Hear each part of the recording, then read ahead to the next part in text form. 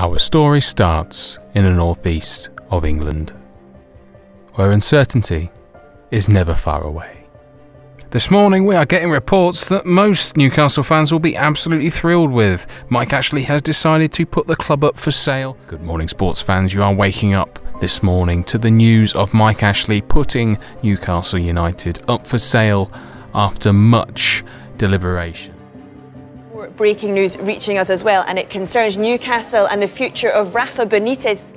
News surrounding St James's Park is suggesting that Rafa Benitez is considering his position as manager following Mike Ashley's announcement earlier today. Is this about his thoughts on the uh, transfer budget and how he thinks Mike Ashley should allow him to spend his money?